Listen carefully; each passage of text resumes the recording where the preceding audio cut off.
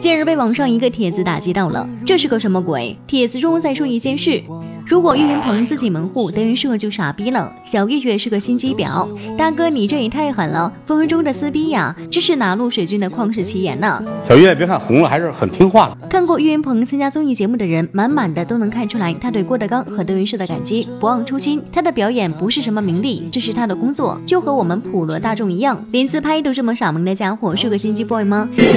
不有意思吗？都。可能他的相声功底不到位，但是人都是在进步的，以后的路还很长，且走且看。黄河两道弯，八字大张口，言字往里钻，左一扭，右一扭，左一长，右一长，中间加个马大王，心字底，月字旁，留个勾大挂麻糖，推个车车逛洛阳，逛洛阳。